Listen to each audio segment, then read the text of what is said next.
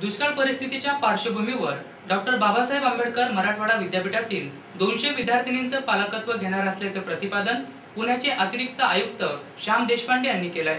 मराठवाड्यातील गेल्या तीन वर्षापासूनची दुष्काळी परिस्थितीच्या पार्श्वभूमीवर दोनशे विद्यार्थिनीचं पालकत्व घेणार आहे असं पुणे येथील अतिरिक्त आयुक्त श्याम देशपांडे यांनी घोषित केलं.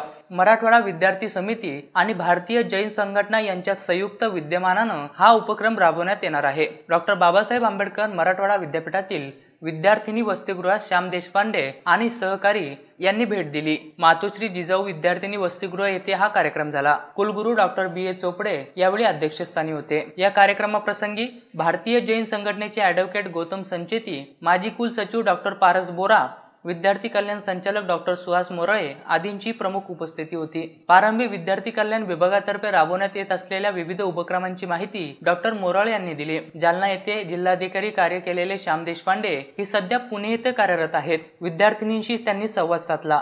ते म्हणाले गेल्या तीन वर्षापासून दुष्काळी परिस्थितीमुळे ग्रामीण भागातील अर्थव्यवस्था कोलमडली आहे. त्यामुळे शेतकरी शेतमजूर मागासवर्गीय दलित आणि अल्पसंख्याक समाजातील मुलींनी शिक्षण घेताना आर्थिक अडचणींना सामोरे जावे लागत आहे. त्यामुळे गरजू मुलींची चार महिने भोजन व्यवस्था आणि अन्य खर्च पुरवण्यात येईल. मुलींनी उच्च ध्येय बाळगण्याचं आवाहनही त्यांनी केलं. स्पर्धा परीक्षेच्या माध्यमातून केंद्रीय आणि राज्य सेवा तसेच बँकिंग क्षेत्रात मोठ्या संधी आहेत. त्याचा लाभ घेण्याचं आवाहन डॉक्टर बोरा यांनी केलं. यावेळी warden doctor Sonali Kshirsagar doctor Beena Shengar doctor Satvana Mishra doctor Giribala Bodle doctor Giribala Bondle doctor Savita Bahirat L A Jahagirdar Balasaheb Jadhav आदींची उपस्थिती.